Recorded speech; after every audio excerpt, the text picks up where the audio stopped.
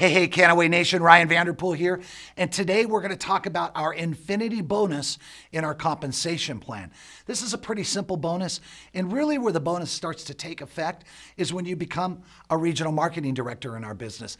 Because as a regional marketing director, you're going to start to earn 2% through infinity on your entire team. And those numbers start to move up on this infinity bonus. You can see as a, a, national director, 4%, as a silver executive director, 8%, all the way up to a royal diamond at 18%.